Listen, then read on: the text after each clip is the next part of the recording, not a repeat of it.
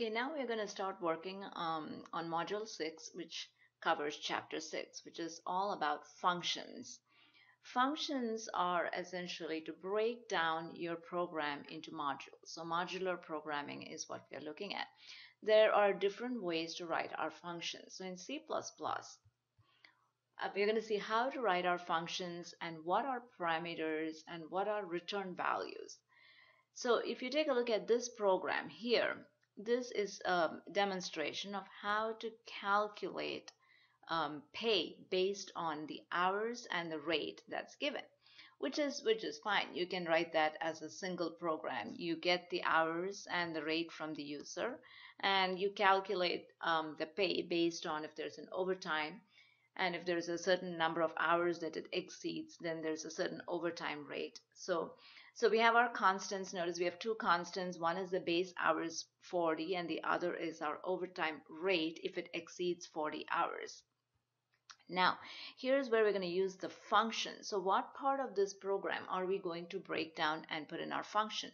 So before you start writing functions, it's very important to sit down and think about how you are going to break down your program. In this case, notice my function is called calculate pay. So its job is to get two parameters, which is the hours and the rate, calculate the pay, and return a double. So if you notice, this is my function prototype, which is a declaration of the function. And if you just look at that one statement, it gives you a lot of information about what the function is supposed to do. Supposed to do. Calculate pay is just the name of the function. So name your functions appropriately so it makes sense. It takes two parameters, double hours, comma, double rate, so you can have any number of parameters. The parameters can be any different data type. So we have two doubles that it takes. And this is the return value. It returns a double. So then what we do with the return value is up to us. So let's take a look at main. Main has three variables declared, hourly rate, we initialize them to zero, work, hours worked, and gross pay. These are all variables that we will need here. We also have our manipulators to display to two decimal places. Then we ask the user, so here is my user input, that's going to get some information from the user. That says, what is your hourly rate? We read that into hourly rate. And it says, how many hours did you work this week? We read that into hours worked. And the gross pay variable is used to calculate um, the gross pay. So we have a function to calculate the gross pay. And remember, it is returning a value, double.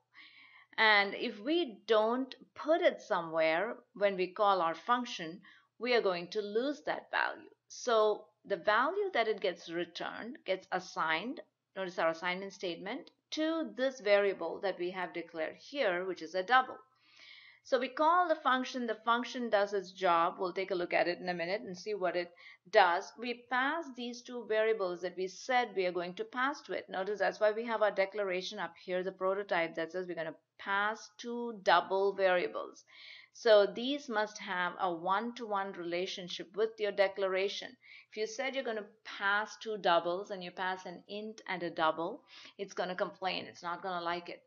So we pass two variables, two parameters to the function. It does something, it returns a value and that gets put in gross pay. And then we have our output statement that says what the gross pay is. And then we quit. So let's take a look at our function down here. It says um, calculation, the gross pay is hours worked times hourly rate, but overtime is paid for hours in excess of base hours at the rate of overtime rate. So if we come down here, we have our function. Notice the function heading. This is called the function heading, the statement here, which looks exactly like our prototype. But notice there is no semicolon at the end of it. If you go up and notice our prototype is essentially a statement, just like a declaration that has a semicolon at the end of it.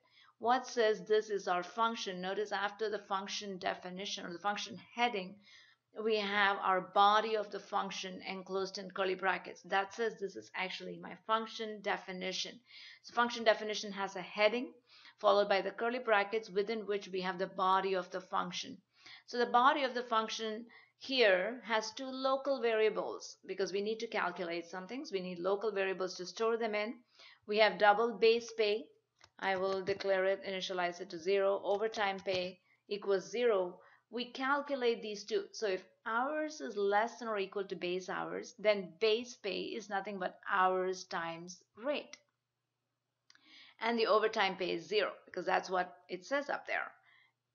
And then we have an else statement that says else, which means the only cases um, if hours greater than 40. So this says hours less than or equal to base hours. So uh, if hours is less than or equal to 40, then the base pay is hours times rate and no overtime pay.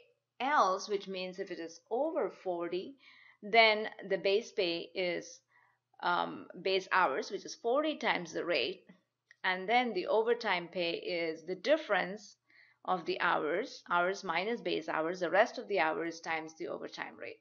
So return base pay plus overtime pay. Now, if it is less than or equal to 40, then the overtime pay is zero. So it's simply going to return base pay plus zero, which would be the same as base pay.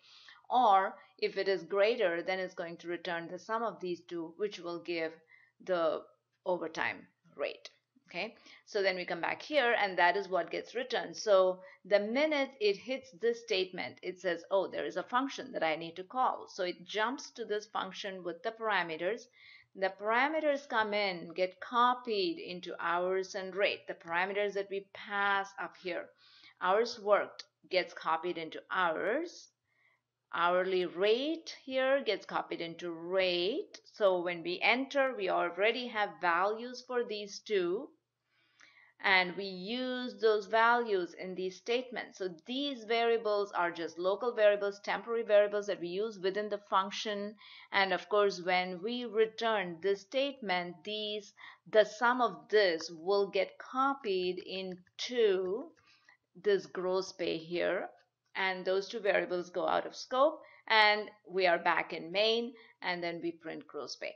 So that is how functions work. So please write practice writing functions. It's very important for the rest of this class and for um, more uh, computer science classes. So please practice writing functions. Now we will also see in the next video, we will see one more program which has a few more functions and is a little more complicated. So take a look at that as well.